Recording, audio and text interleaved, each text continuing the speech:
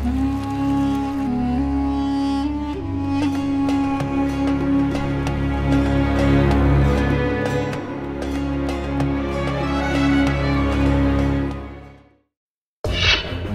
के बाद गुरु भी हुए अस्त। 11 फरवरी तक ग्रहों की अस्त स्थिति। 12 राशियों को क्या कुछ देकर जाएगी? देखिए सिर्फ़ धर्म, ज्ञान पर नमस्कार धर्म ज्ञान के दर्शकों का फिर से स्वागत है हमेशा की तरह। मैं हूँ आपके साथ कविता राणा। ऐसा मौजूद है हमेशा की तरह जाने माने ज्योतिषाचार्य महेश शर्मा जी। जी धन्यवाद कविता जी और धर्म ज्ञान के सभी दर्शकों को बहुत बहुत नमस्कार। और इस समय हम हरिद्वार में हैं। जी। और आपके लिए अगले माह का राशिफल यानी फरवरी मास का राशिफल भी लेके आएँगे। और ग्रहों की बदलती चाल आपकी राशि पर क्या प्रभाव डालने वाली है? ग्रहों का राशि परिवर्तन उसके बारे में भी आपको जानकारी देंगे। बिल्कुल, लेकिन आइए सबसे पहले आज हम बात करेंगे ग्रहों का अस्त होना, आपकी ज़िंदगी में क्या खलबली मचा सकता है। जी हाँ बात करें तो इस सात जनवरी को सबसे पहले शनि अस्त हुए, फिर उसके बाद सत्रह जनवरी को गुरु अस्त हो चुके हैं। अब जो कि मकर राशि में चार ग्रह विराजमान हैं। जी हाँ सूर्य, बुध, गुरु और शनि, ये चारों ग्रह एक साथ विराजमान है और ऐसे में शनि संग गुरु का भी अस्त होना, जिसका प्रभाव 11 फरवरी तक रहेगा। ऐसे में 11 फरवरी तक किन राशि वाले लोगों को थोड़ा सा संभल कर रहना पड़ सकता है इसी को लेकर आज हम जानेंगे मयंक जी से। जी। लेकिन मयंक जी सबसे पहले मैं जानना चाहती हूँ कि ज्योतिष शास्त्र में आखिर कोई ग्रह कैसे अस्त हो जाता है और इसका प्रभाव कैसा रहता है? जी बिल्कुल। देखिए जब भी कोई ग्रह सूर्य के नज़दीक आ जाता है तो वो अस्त हो जाता है। और इसकी हम अस्त ग्रह का मतलब क्या होता है? देखिए अस्त ग्रह का मतलब होता है कि ताकत का कमज़ोर पड़ना। सूर्य के बाद जब भी तेरह डिग्री के आसपास सूर्य के कोई भी ग्रह आ जाता है तो वो कमज़ोर पड़ जाता है अस्त हो जाता है चाहे वो चंद्रमा ही क्यों ना हो चाहे मंगल हो चाहे आपका कोई भी ग्रह राहु केतु को छोड़कर वो ग्रह अस्त हो जाता है। और सूर्य ऐसा ग्रह है वो कभी अस्त नहीं होता है। जी। तो जैसे आपने बताया कि इस समय गुरु भी अस्त है और शनि भी अस्त है। देखिए अस्त ग्रह को इस तरह से मान लीजिए अगर कोई ग्रह आपकी कुंडली में योग कारक होकर बैठा है और वो ग्रह सूर्य के द्वारा अस्त हो जाए तो उसकी पावर वीक हो जाती है कमज़ोर हो जाती है। ये उसी तरीके से हम मान सकते हैं जैसे कोई एक स्वस्थ व्यक्ति है तो अपने काम को बेहतर तरीके से अंजाम दे सकता है। लेकिन कोई व्यक्ति अगर बीमार पड़ जाए उसका स्वास्थ्य खराब हो जाए तो उस काम को वो बेहतर तरीके से और सही समय पर नहीं करेगा। कुछ ना कुछ दिक्कतें परेशानियाँ आएँगी। इसलिए जब भी अस्त ग्रह होते हैं और वो योग कारक होकर अस्त होते हैं तो हमें लाइफ में ज़्यादा परेशानियाँ पैदा करते हैं। यानी कि उनकी ताकत कमज़ोर हो जाती है उनका फल देने का जो शुभ फल देने का जो कार्य होता है वो सूर्य के द्वारा अस्त होने के कारण धीमा पड़ जाता है। तो ये अस्त ग्रहों का प्रभाव होता है। लेकिन एक बार फिर भी आपको बता दें मैंने अब तक हज़ारों कुंडलियाँ देखी हैं और ऐसी बहुत सी कुंडलियों में देखा है कि जिनमें जो अस्त ग्रह हैं उसके बावजूद भी उन्होंने जीवन में बड़ी तरक्की करी है। या अस्त ग्रह की दशा अंतरदशा में बड़ी सफलता अर्जित करी है। तो ये बात तो कहना बिल्कुल गलत है कि अस्त ग्रह अगर आपका बैठा है और तो वो आपको जीवन में कुछ नहीं देने वाला है। तो ऐसा तो बिल्कुल भी आ, मेरी कम से कम जो रिसर्च है वो कहती है कि ऐसा नहीं होता है। अस्त ग्रह भी आपको शुभ फल दे सकते हैं। अगर वो आ, बहुत अच्छी स्थिति में कुंडली में बैठ गए हों या शुभ ग्रहों के साथ भी योग बनाकर बैठे तो अस्त ग्रह को भी आ, मज़बूत करके उससे शुभ फल लिया जा सकता है।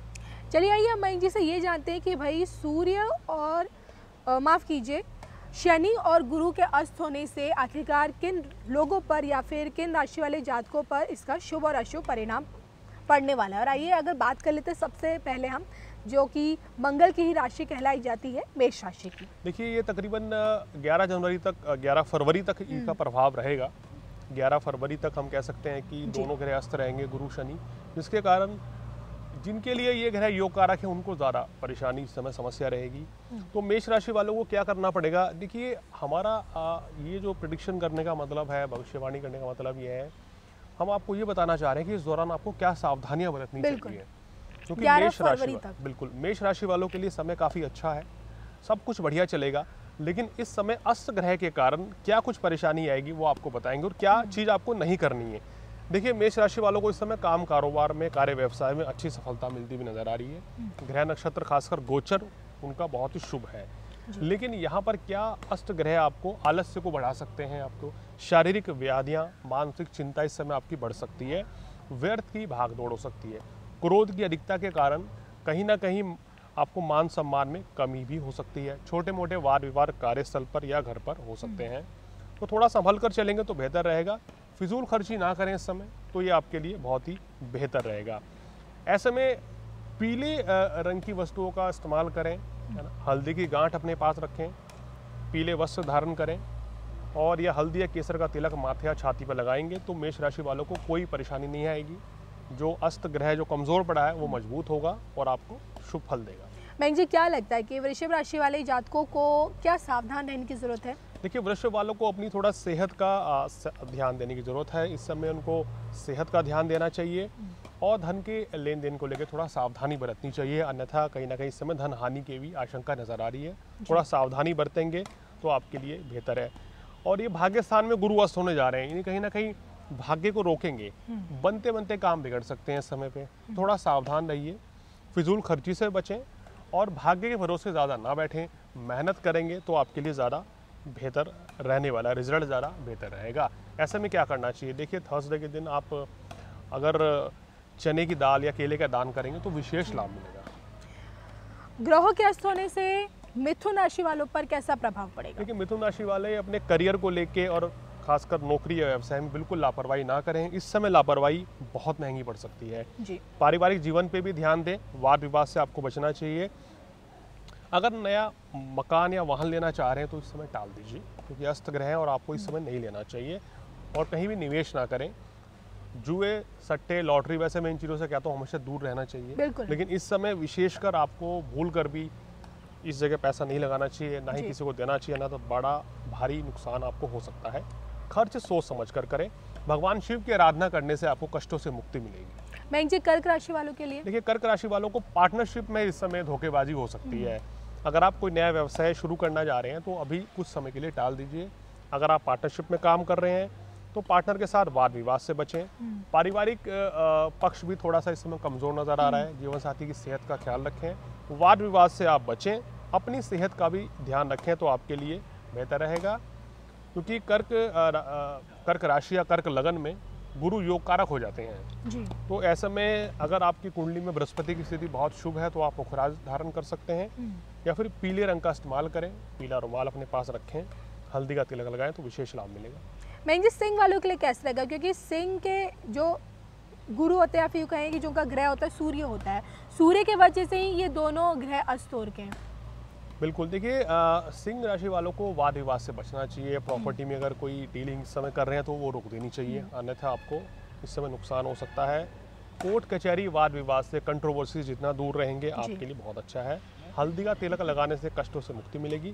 पारिवारिक जीवन में भी खासकर अपने पिताजी की सेहत का ध्यान रखें तो आपके लिए बेहतर है। कुल मिलाकर आपके छठे भाव में ये योग बन रहा है। तो थोड़ा सावधानी से समय निकाल लेंगे। ज़्यादा समय नहीं है। ग्यारह फरवरी तक का ही समय है। थोड़ा सावधानी से निकालेंगे तो बहुत आसानी से ये समय निकल जाएगा।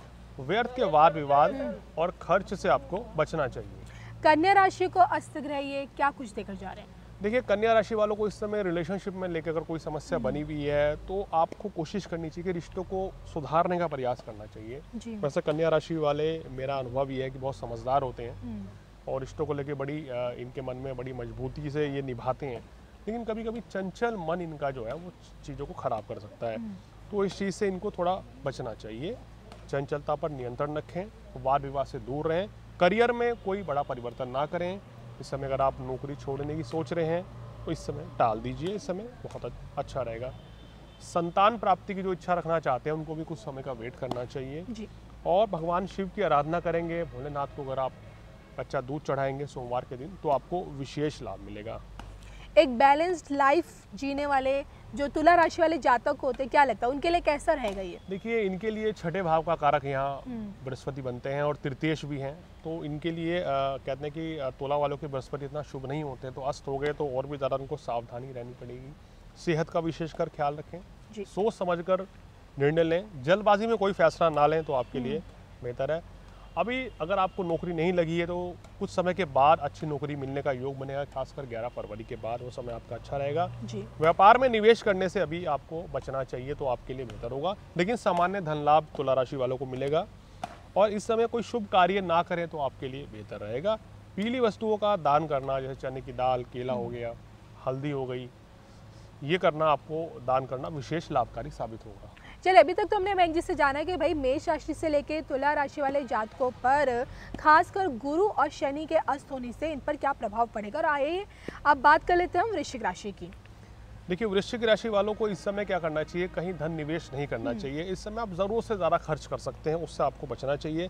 संतान की सेहत का भी ध्यान रखें और अत्यधिक खान पान से आपको बचना चाहिए नहीं तो फ़ूड पॉइजनिंग भी हो सकती है और वृश्चिक राशि वाले शॉर्ट टेम्पर्ड होते हैं जल्दी गुस्सा आता है। इस समय क्रोध की अधिकता भी बढ़ सकती है।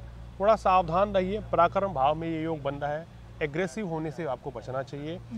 आक्रामकता हमेशा ही अच्छी नहीं कही कहलाई जाती है। कभी कभी ये बहुत नुकसानदेह भी साबित हो सकती है। तो इस चीज़ का आपको ध्यान रखना है। किसी भी तरह के वाद विवाद से भी आपको बचना चाहिए। और पीली वस्तुओं का दान करना आपके लिए भी बहुत शुभ रहेगा। चाहे उसमें पीले वस्त्र भी हो गए चाहे पीतल का भी दान करेंगे तो भी आपको शुभ फलों में वृद्धि होगी। मैं जी धनु राशि वालों के लिए कैसा रहेगा? देखिए धनु राशि वालों के लिए तो कहते हैं कि आपके तो राशि के स्वामी ही बृहस्पति देव हैं वो अस्त हो गए हैं तो इस समय कहेंगे कि सभी शुभ कार्य टाल देने चाहिए अपनी सेहत का ख्याल रखना चाहिए यात्रा में विशेष सावधानी आपको बरतनी चाहिए और रिश्तेदारों के साथ मित्रों के साथ स्पाउस के साथ यानी जीवन साथी के साथ वाद विवाद टालें तो आपके लिए बेहतर होगा।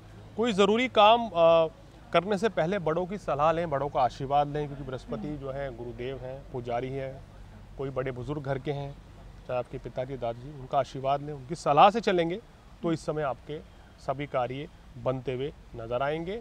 और इस समय उपाय क्या करना चाहिए? देखिए आपको क्या इस समय बेहतर रहेगा कि चने की दाल का दान करें और बृहस्पति के बीज मंत्र का अगर आप जाप करेंगे तो आपको बहुत ही लाभ मिलने वाला है। देखिए ना धनु के स्वामी गुरु और अगर बात करें अपने अगली राशि की मकर राशि की उनके स्वामी तो शनि है। और उनका जब स्वामी ही अस्त हो गया तो क्या लगता है? उन पर कैसा प्रभाव रहेगा? देखिए राशि का स्वामी लगन का स्वामी जब भी अस्त होता है तो परेशानियाँ बढ़ती ही बढ़ती रहती हैं। स्वास्थ्य संबंधी परेशानी तनाव बढ़ सकता है जीवन साथी के साथ व्यर्थ के वाद विवाद हो सकते हैं। जीवन साथी की सेहत का भी ख्याल रखें और साथ साथ अपनी सेहत का भी इस समय आपको ख्याल रखना चाहिए। और इस समय जो धन का व्यय हो सकता है वो बीमारी पर हो सकता है। और जिनको दशा शनि राहु की चल रही है या बृहस्पति की चल रही है तो उनको विशेष सावधान रहने की ज़रूरत है। और इस समय आपको क्या करना चाहिए? व्यर्थ के वाद विवाद से आप बचेंगे तो आपके लिए बेहतर रहेगा। कुंभ राशि के लिए?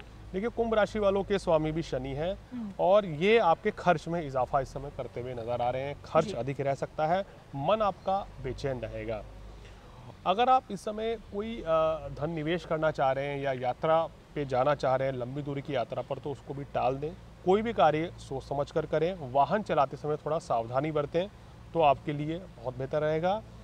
नीली चीज़ों का प्रयोग करना बहुत शुभ रहेगा क्योंकि आपके शनि योग कारक हैं आपके लिए। नीला कपड़ा नीला रुमाल अगर आप धारण करते हैं तो विशेष लाभ मिलेगा। बैंक जी हमारी जो आखिरी राशि है मीन राशि के लिए कैसा रहेगा? देखिए मीन राशि के स्वामी भी खुद गुरुदेव बृहस्पति हैं वो अस्त हो रहे हैं तो धन आगमन में समस्याएँ आ सकती हैं। जो पैसा इस समय आ रहा था वो रुक सकता है अचानक से। कार्य व्यवसाय में भी आपको मिले जुले परिणाम मिलेंगे। किसी बड़े निवेश से बचना चाहिए। और जीवन साथी की सलाह से अगर आप चलेंगे इस समय तो बहुत ही आपको फ़ायदा होगा। और ये तरह इस तरह के जो निवेश हैं ग्यारह बारह फरवरी तक टाल दें तो आपके लिए बेहतर होगा। बृहस्पति के बीज मंत्र का जाप करें और केसर का तिलक माथे पर लगाएँ। बृहस्पतिवार के दिन खासकर तो विशेष लाभ मिलेगा। तो ये अ, कुछ अगर आप करेंगे उपाय तो जिनसे आपको बहुत ही शुभ फल मिलेंगे। और इस समय वैसे हम ये कहना चाहेंगे सभी राशियों के लिए हम्म। थोड़ा सा सावधानी बरतने की ज़रूरत है लेकिन कोई चिंताजनक बात नहीं है। चलिए तो ये आज हमने शर्मा जी से जाना है कि भाई आखिरकार गुरु और शनि के अस्त होने से 11 फरवरी तक किन राशियों को थोड़ा सा संभल कर रहना पड़ सकता है और कि लोगों को इसका शुभ प्रभाव भी मिलेगा। चलिए इसी के साथ मुझे और मयंक शर्मा जी को दीजिए इजाज़त लेकिन जाते जाते हम हमेशा अपने दर्शकों को याद दिला देते हैं। अगर आपको अपनी कुंडली दिखानी है ज्योतिष शास्त्र से संबंधित कुछ भी सवाल है जवाब जो आप जानना चाहते हैं घर के वास्तु से संबंधित कुछ पूछना चाहते हैं तो स्क्रीन पर दिख रहे इस व्हाट्सएप नंबर के ज़रिए आप मयंक शर्मा जी से सीधा संपर्क कर सकते हैं। और दर्शकों से गुजारिश है कि कई बार कॉल्स बहुत आ पाती हैं तो फ़ोन नहीं उठा पाते हैं तो अगर आप व्हाट्सएप पे मैसेज छोड़ेंगे तो आपको रिप्लाई एक से दो दिन के बाद ज़रूर मिलेगा। चलिए इसी के साथ हम दोनों को दीजिए इजाज़त नमस्कार।